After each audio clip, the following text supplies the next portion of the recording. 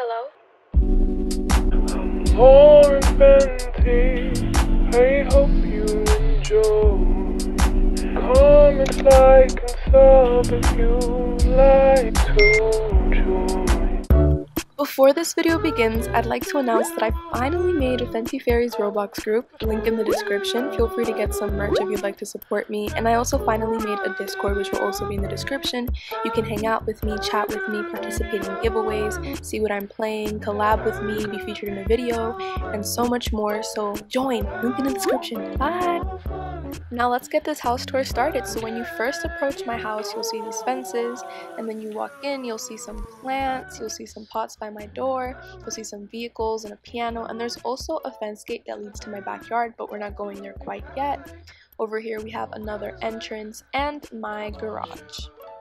Now when you first walk in, you'll see this living room kitchen setup with a very simplistic vintagey look as the rest of the house carries.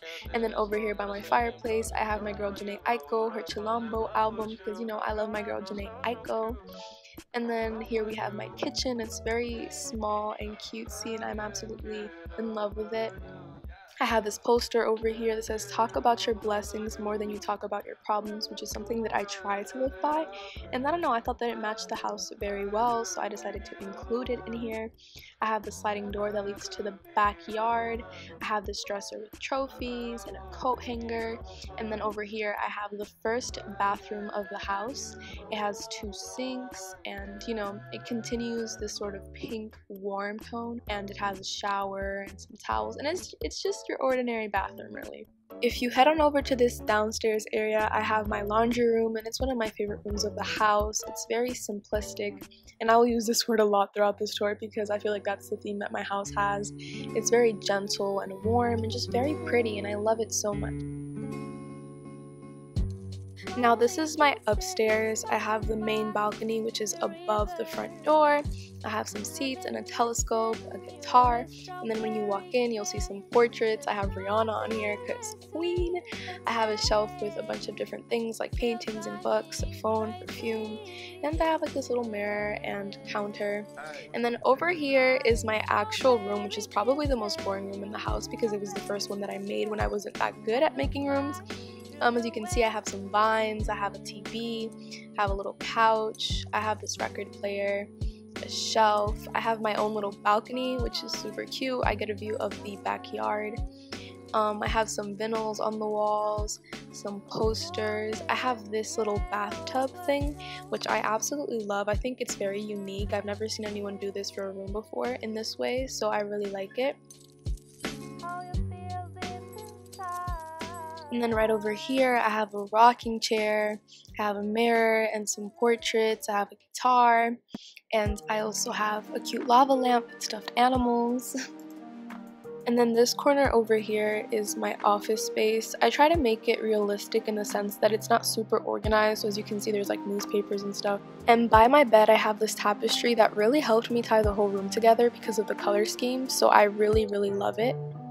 And I have my girl Jhené Aiko again because I love her. Now if we walk through here, we have the extension to the house and this was built much later on but as you can see, it leads you to another part of the house where there's a living room area and there's also another mini balcony, but it's pretty irrelevant because there's it's just a really plain balcony. And when you walk over here, you see this beautiful kitchen, which is by far my favorite because in case you guys don't know, I'm obsessed with like cottagey looking things and this has huge cottage vibes. So as you can probably presume, I'm obsessed. And down here we have some flashlights in case I forget to pay my bills and there's a blackout. And over here we have this mini fireplace, but I kind of forgot to push it back when I fixed the walls, so I should probably get to that. Over here we have another chill area. There's a bay view window and there's a bookshelf. You could see my mini garden out at the front. Now over here we have another bathroom which I do realize I forgot to include flooring in but besides that it is complete. It also has a blind so people cannot see your privacy. And then right next door we have April's room. And April's room is pretty simplistic, you know, there's like a little bed, a vanity, there's a closet and an office space, and yeah, very cute, very small. And then down here is my other living room. As you can see, there's like a loungy sofa, there's portraits, this entertainment center, and a Dominican flag because if you guys didn't know, I'm Dominican. So, of course, I had to add some pride in there. And yeah, we also have some instruments. We have another rocking chair. We have like this little library bookshelf thing. And over here, if you made it this far, congrats, you know about my secret room. Don't tell anyone. Over here, I also have a mini fridge and you know some more paintings to tie the room together, a grand piano and all that. And then when we move on over here, I did not finish the paintings here because I couldn't find things that I liked, but you know, I have this little table over here and then my gym.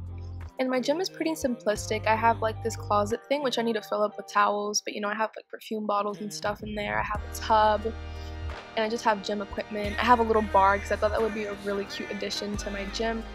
And then over here we have one of the entrances to my movie theater room and as you can see I have a snack area with an ice cream machine and popcorn, spices, all that jazz.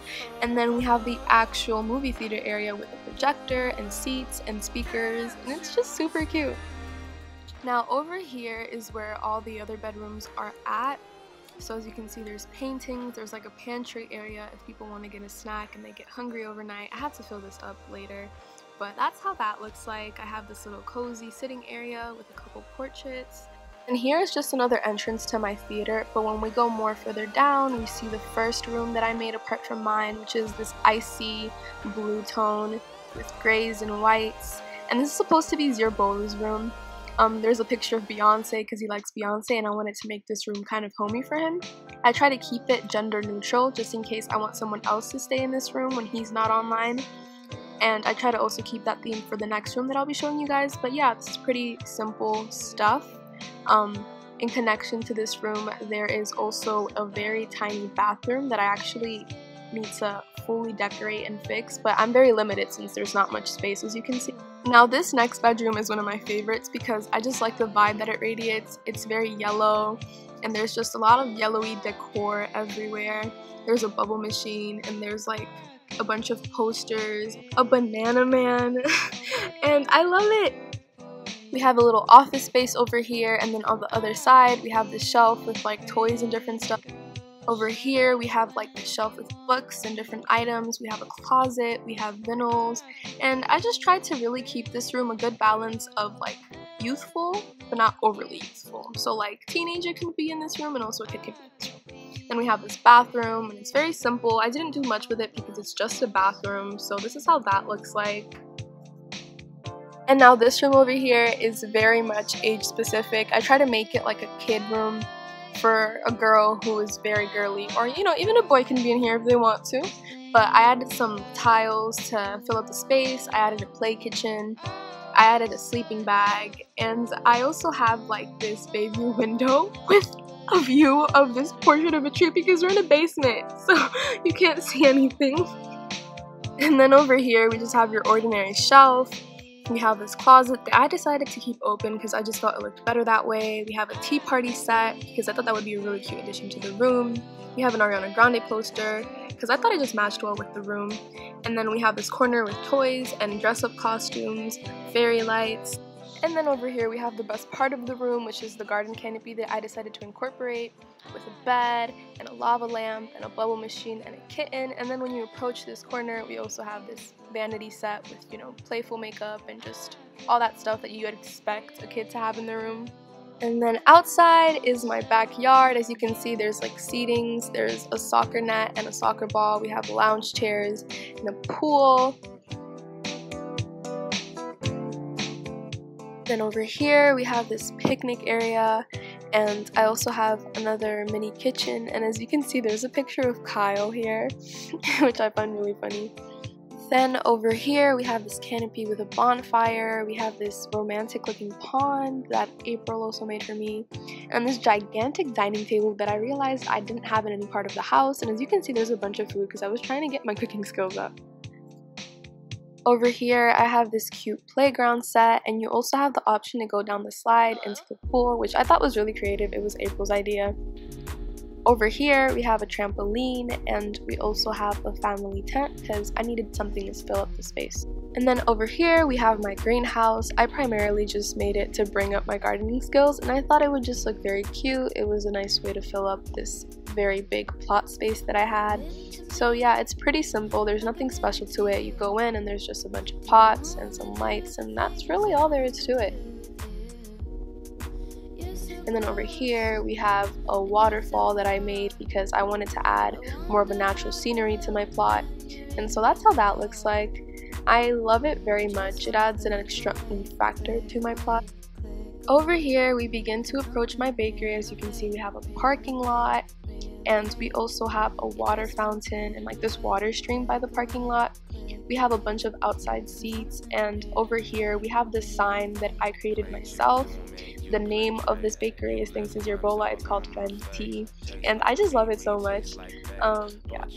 So right now my bakery is just a block because I forgot to add like the slanted roof on the sides since I had to rebuild this entire thing to be pushed back more ever since I bought the big plot pass. But as you can see there's some seats over here and there's a mini bathroom for customers to enter, nothing special in here. And then when we walk in over here, this is how it actually looks like inside.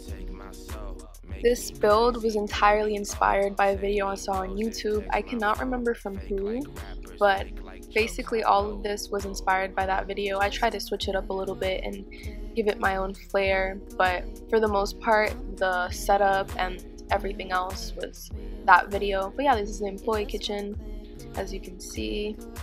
A bunch of snacks, a bunch of different foods already prepared for customers. And that's really all there is to this bakery. I really love it because it's so small and so cozy and safe and simple. And this is really what I wanted. Now the final thing that I'll be showing you guys is my garage. There's no vehicles at the moment, but up here I have this very bummy room that I just thought would be cute to add. I don't know what it is, but there's just something adorable about this really bummy room, so I decided to include it. I wanted to add something, so that's what I came up with. And then right out here we have another Dominican flag because you already know the vibes I've explained. But that's pretty much it for this house tour. I hope that you guys enjoyed. Now with faith, trust, and a little bit of Fenty Fairy Dust, I wish you guys all a magical day. Bye!